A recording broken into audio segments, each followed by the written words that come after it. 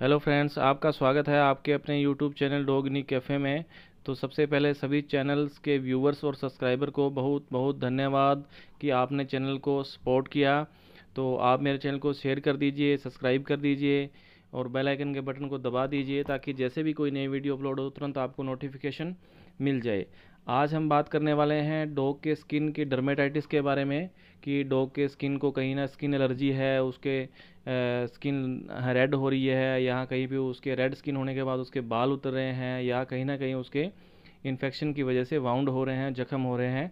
तो आज हम इसके बारे में बात करेंगे, जैसा ये स्क्रीन पर दिख रहा है। जैसा कि इस डॉग में जो स्किन इन्फेक्शन की वजह से इसके बाल भी झड़ रहे हैं, इसके वाउंड भी हो रहे हैं, जख्म भी हो रहे हैं तो ये क्या स्टेफाइलोकोकस पेसिड जो डर्मेटाइटिस है, उसको दूर करेगा? ये जो हम आपको टैबलेट बताएँगे, और इसके अच्छे रिज़ल्ट हैं। और इसके अन्य भी यूज़ है, पर एक बार अपने इसी पे बात करेंगे कि डर्मेटाइटिस है, जो स्किन इन्फेक्शन है, उसमें किस तरह से यूज़ कर सकते हैं और क्या क्या डोजेज अपने दे सकते हैं।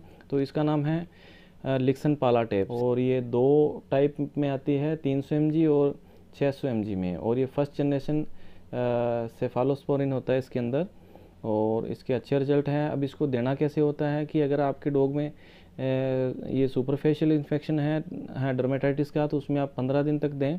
अगर उसके अंदर डीप इन्फेक्शन है डर्मेटाइटिस का तो आप उसको 28 दिन तक दे सकते हैं। डीप इन्फेक्शन मतलब कि डॉग को डर्मेटाइटिस हो गया है, उसके बाद में उसमें हल्के उसके वाउंड दिखने लगे हैं, जख्म ये इन्फेक्शन के बाद में तो आप इसको दे सकते हैं।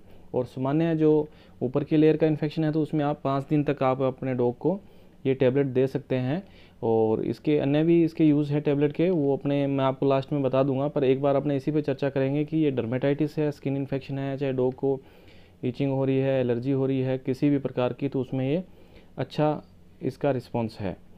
तो अब अपने बात करेंगे इसके डोजेज़ के बारे में, इसको डोज क्या क्या दें? तो आपने क्या करना है कि अगर फाइव के जी वेट है डॉग का या आप कैट्स को भी दे सकते हैं तो उसके अंदर क्या है कि इसको तीन सौ एम की वन फोर्थ टेबलेट देनी है। अगर टेन के जी है वेट है, तीन सौ एम की हाफ़ टेबलेट देनी है।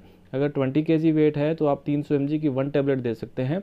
नहीं तो छः सौ एम की आती है, वो आप हाफ़ टेबलेट दे सकते हैं। अगर फोर्टी के जी वेट है तो आप उसको छः सौ एम की वन टेबलेट बीडी डोज आप इसको दे सकते हैं।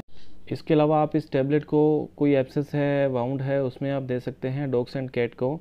और चौदह डे के लिए आप रिकमेंड कर सकते हैं, अगर कोई यूरिनी ट्रैक इन्फेक्शन है, पेशाब से संबंधित कोई इन्फेक्शन हो चुका है उसके यूरिन में किसी तरह का तो भी आप डॉग्स एंड कैट को दे सकते हैं। thanks for watching my videos and share this channel.